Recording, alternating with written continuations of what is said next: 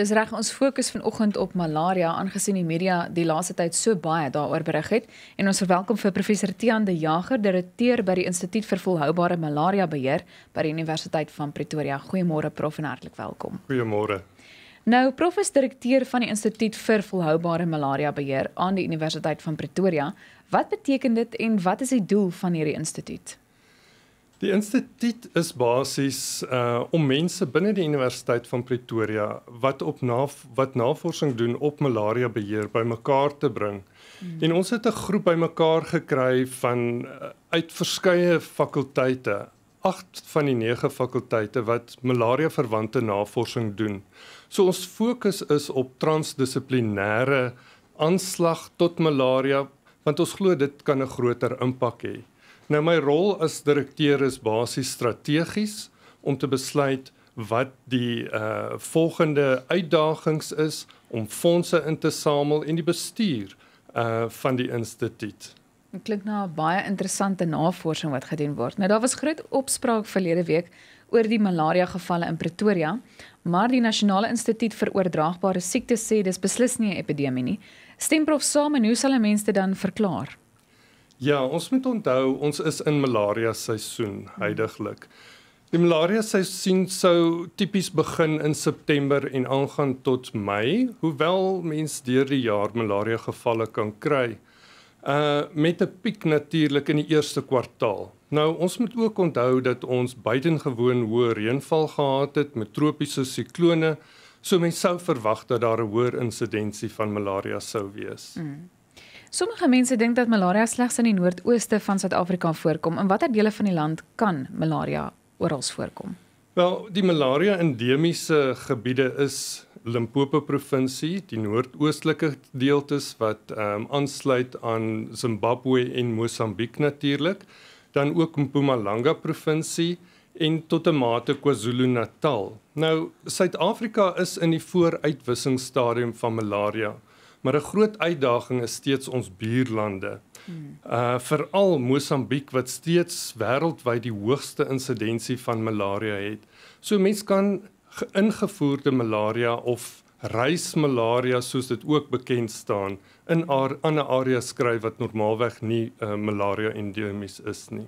En dit gebeur dan nou, ekskuus, hmm. soos wat hulle sê deur middel van ehm um, bagasie, miskien kan dalk daar hulle skanning maak of in 'n voertuig, in 'n vliegtuig of 'n reistas hmm. op verskeie maniere kom die miskien dan nou in en beland in 'n area wat normaalweg nie uh 'n malaria gebied is nie. Hmm. Ek het nou ons het vinnig gepraat oor dit in die in die in die advertensiebreek en ek gaan nou maar hulle naam sê want ek dink hulle doen fenominale werk en die geld wat hulle gebruik uh, maatskappye soos Nando's wat mense nie weet nie sit miljoene rande in om malaria te beperk en dit is Mosambiek maar nou is dit 'n baie dom vraag.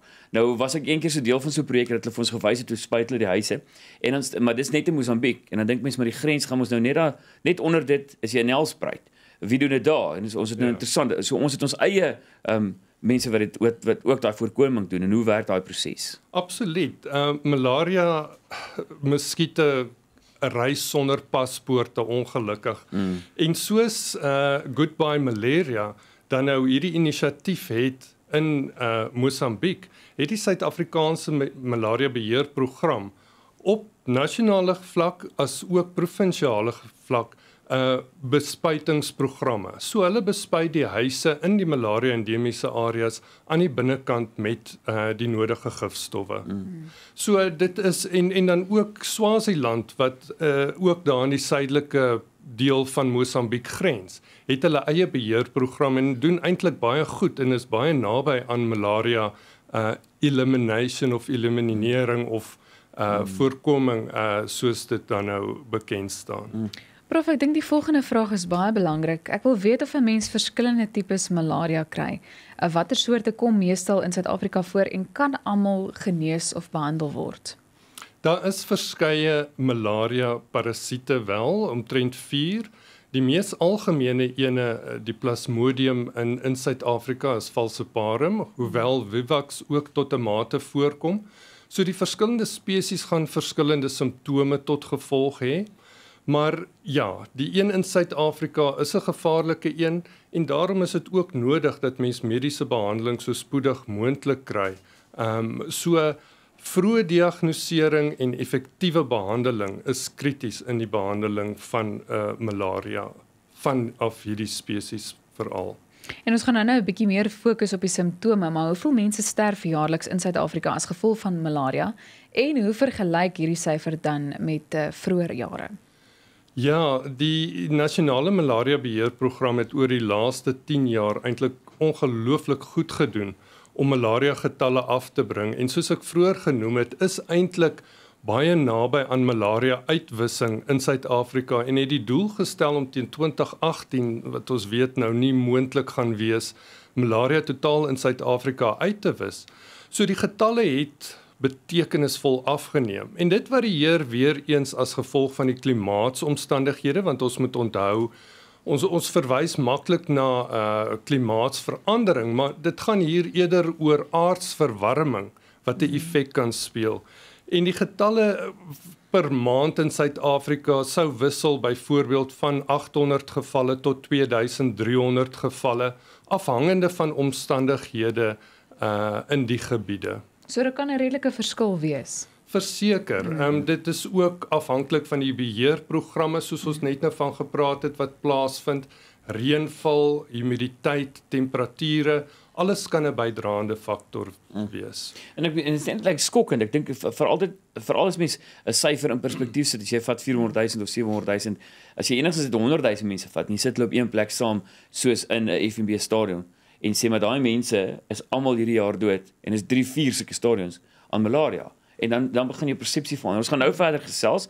Ehm um, professor Tiaan de Jager, maar ons jy kan ook ingeskakel bly vir jou sport net hierna.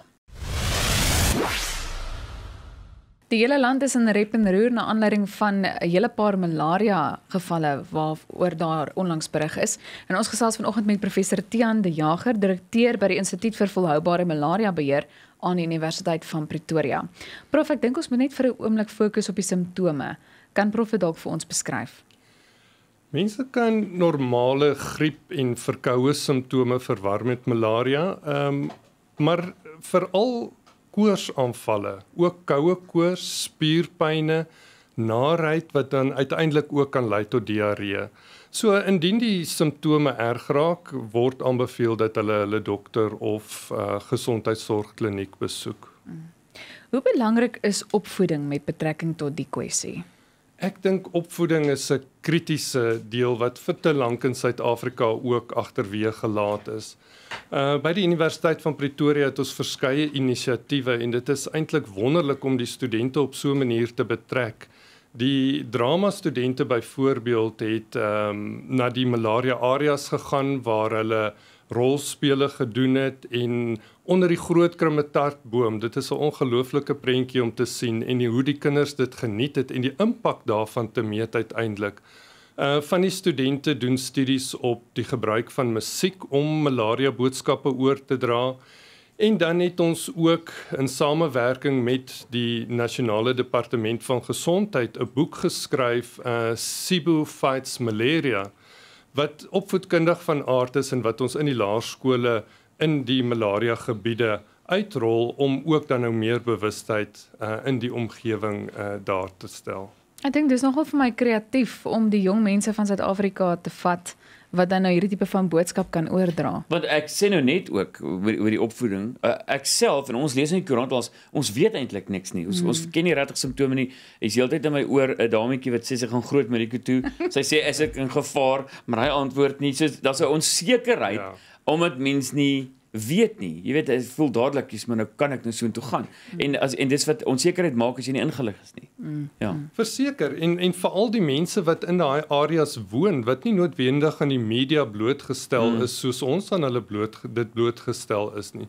So dit is krities om in besluitneming ook die mense op die grond te betrek. Mm. Ons het byvoorbeeld by die Universiteit van Pretoria 'n uh, 'n uh, studente forum uh, in die Malaria Instituut want van die studente werk in 'n uh, laboratorium on, en kyk na die parasiet onder 'n mikroskoop ander werk weer in ingenieurswese wat hulle nuwe produkte ontwikkel mm. maar hulle self nie bewus van die situasie in die malaria area nie so ons vat hulle een keer 'n jaar in 'n area wat hulle op uh, in die uh, gemeenskappe gaan werk en dis vir hulle ongelooflike belewenis mm. en hulle kom verryk terug en hulle studies het net soveel meer sin aan die einde van As die dag. omdat hulle was en ek dink ook as mens Absoluut. praat van die mense so nou sê wat is so blootstel van media nie in daai gebiede.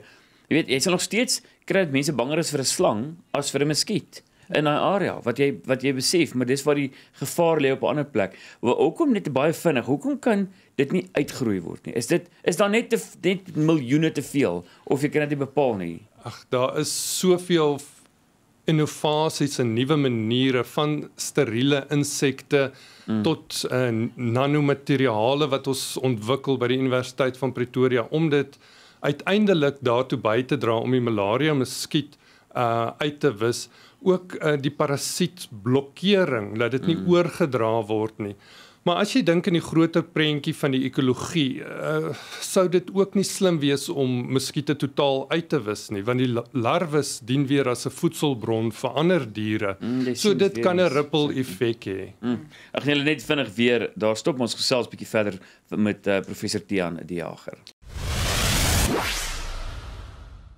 Intussen sluit ons af met vanoggend se gesprek oor malaria en ons verwelkom vir 'n laaste keer professor Tiaan die Jager, direkteur by die Instituut vir Volhoubare Malaria Beheer aan die Universiteit van Pretoria. Prof, ek wil vra watter oplossings ondersoek die instituut tans in terme van die volhoubare bekamping van malaria? Ons is 'n groot groep wetenskaplikes en navorsers wat op verskeie aspekte fokus. Ons het 'n sterk groep wat op die parasiet werk en parasietblokking. Ehm um, dan die vektor of die muskiet en verskillende aspekte daar rondom en dan die menslike gesondheid en die gemeenskapsgedeelte daarvan. Nou van die baie interessante en nuwe projekte wat ons aangepak het, is byvoorbeeld die gebruik van satelliettegnologie om malaria uh uitwissing uh te help uh daarstel. Nou ons werk saam met die French National Space Agency en die Suid-Afrikaanse Weerinstituut. Ehm um, waar ons dan nou kyk na klimaatsverandering, uh die klimaat op sigself, die vektor, die parasiet en veral belangrik uh beweging oor grense heen deur mense. So dis 'n omvattende benadering om te kyk of ons die probleem op so 'n manier kan aanspreek. Ja, en dis baie goeie nuus om te hoor dat daar soveel gedoen word. Einde Februarie is daar berig dat wetenskaplikes die eerste malaria parasiet in Afrika gekry het wat gedeeltelik weerstand toon teen malaria medikasie. Wat is die huidige stand van sake in die verband en wat beteken dit vir die publiek van Suid-Afrika? Weerstandbiedendheid is 'n groot uitdaging, nie net ten opsigte van uh medikasie nie, maar ook ten opsigte van die uh gifstowwe wat gebruik word vir bespuiting van die malaria muskiete. Uh daar is gevalle bekend, maar dit wat heidaglik in Afrika bekend geword het, word tans deur die Wêreldgesondheidsorganisasie ondersoek en is nie dieselfde as wat in die ooste gevind is nie. So voortdurend moet ons bewus wees van potensiële uh gevare wat kan kom as gevolg van nie net op die medikasie nie, die weerstandbiedendheid nie, maar ook uh die gifstowwe wat ons gebruik word en daarom is ons ook nou betrokke by die ontwikkeling van nuwe materiale en nanopartikels om dan uh nuwe produkte daar te stel wat meer effektief kan wees. Nou ja, prof, ek gaan met Haldroep, maar ek voel baie meer ingelig en ek glo Jorney ook. Amper, ek het nog Ja. gevra voor ons haldroep. Waar kan mense uitvind as nou weer iemand wat sê ons gaan die naweek so dwaal toe, wat ek nou sien is naby Swaziland, so hulle is nou gespanne. Is daar iewers waar mense kan uitvind areas? Ja, dit dit is op die nasionale departement van gesondheid se webblad. Mm is daar inligting, maar hulle kan ook die Universiteit van Pretoria se webblad kyk. Dit is uh www.malaria.co.za. Um en dit is wel areas soos in Kruger Nasionale Park. So reisigers moet bewus wees. Mm. Hulle kan ook hulle dokter of reiskliniek kontak vir meer inligting. Daar sê. Ons sê dan baie dankie aan professor Tiaan de Jager.